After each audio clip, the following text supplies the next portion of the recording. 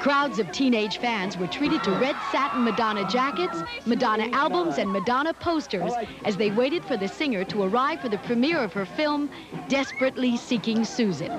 If anyone wonders why people would go to see this movie, Madonna fans have the answer. I love her. I love her. She's gorgeous. I think she's a good singer. She's just live. I mean, everything about her. She's fresh, yeah. She's sexy, her body. When the star herself arrived, she blew a kiss to her fans. What do you think of the way Madonna's dressed tonight, huh? And she gave us some hints about her character. She's um, irresponsible. She is adventurous. She's courageous, and she's very vulnerable. Is she Madonna? We have some things in common. You said you always knew you'd be a star. Did you think it would be like this? I'm not going to tell you. Jeanne Wolf Entertainment Tonight.